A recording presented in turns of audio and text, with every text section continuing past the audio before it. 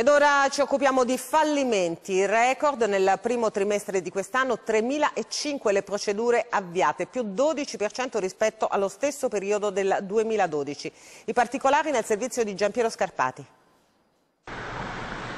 La crisi colpisce duramente l'economia reale. Le imprese strette tra i consumi impicchiate, un fisco tra i più alti d'Europa, continuano a chiudere. E quel che è peggio è che c'è un'accelerazione che testimonia che la difficoltà è diventata emergenza. Nei primi tre mesi di quest'anno i fallimenti hanno già toccato quota 3.500, in aumento del 12% rispetto all'anno scorso. A chiudere i battenti in totale sono state circa 23.000 imprese un po' in tutto il paese. L'aumento maggiore del numero dei fallimenti si è avuto infatti nel nord-est, più 24% in 12 mesi.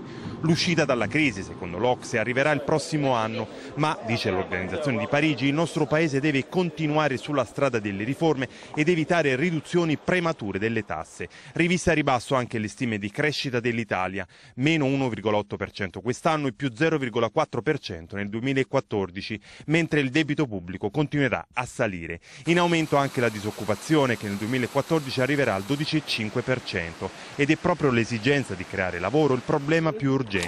Dagli artigiani arriva una proposta concreta. Nei prossimi dieci anni, dice uno studio della CNA, circa 500.000 imprenditori anziani dovranno lasciare la loro impresa a fronte di una platea di circa 2 milioni di giovani tra i 18 e i 35 anni pronti a subentrare. Di qui l'idea di favorire una staffetta generazionale, in linea con quanto sta studiando il governo, attraverso agevolazioni fiscali e retributive.